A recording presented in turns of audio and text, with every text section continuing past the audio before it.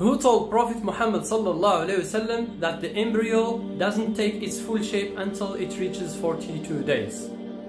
Prophet Muhammad wasallam says in Sahih al-Bukhari, if every one of you, all components of your creation are collected together in your mother's womb by 40 days, an angel is sent to it and shapes it, etc.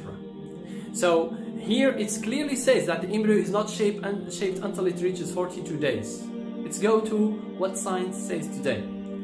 Keith L. Moore in The Developing Human, which is an eminent uh, pioneer book uh, all over the world, which is um, uh, I take from the third edition, 1982. He says human features become rec recognizable about 42 days after the zygote forms.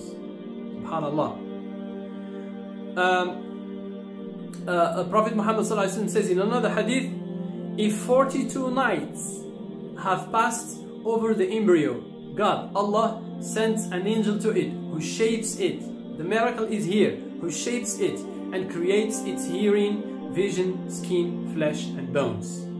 So from 42 days upwards, the spirit is potential to be blown by the so from 42 days up and this solves the problem of people who make abortion. So from 40 Ibn al-Qayyim says from 42 days upwards you have to to uh, to uh, consult the doctor.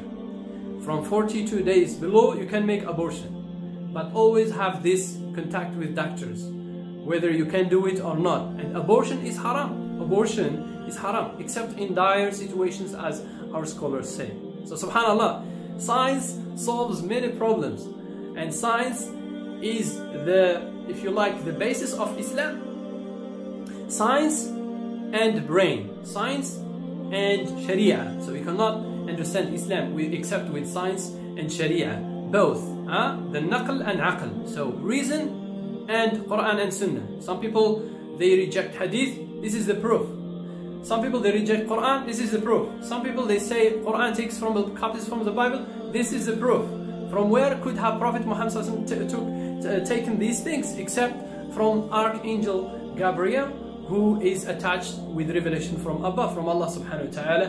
And Alhamdulillah salatu wasalam ala Rasulullah. If you want to ask about science in Islam, ask a Muslim. salatu wasalam ala Rasulullah. Alaikum